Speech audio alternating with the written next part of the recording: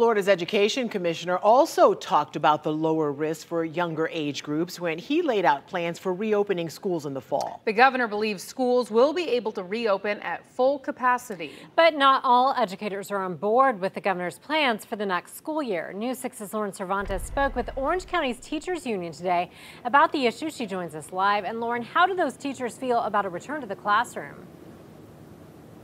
The president of Orange County's teachers union says teachers have a number of concerns, and she tells me they aren't ready to go back into the classrooms. Like schools aren't prepared right now to start in August. They're absolutely not prepared right now. Wendy Doromal is the president of the Orange County Classroom Teachers Association, representing over 14,000 teachers.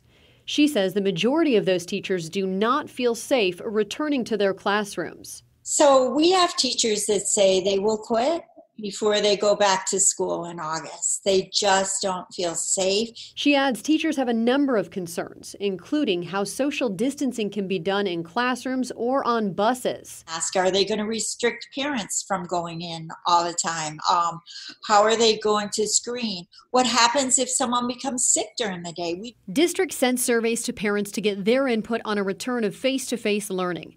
Some of the districts say they are still gathering input.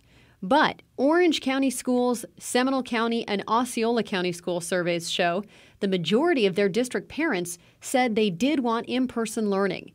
And for Lake County schools, the district says what they've received so far shows a majority in favor of returning to brick and mortar school buildings. To which Doromal says all of the teachers want to go back to school eventually, but they want to do it when it's safe.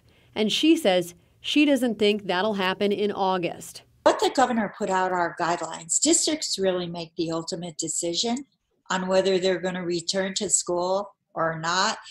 We don't have a plan, and the clock is ticking. Doromal tells me on June 22nd, they will be bargaining with the district.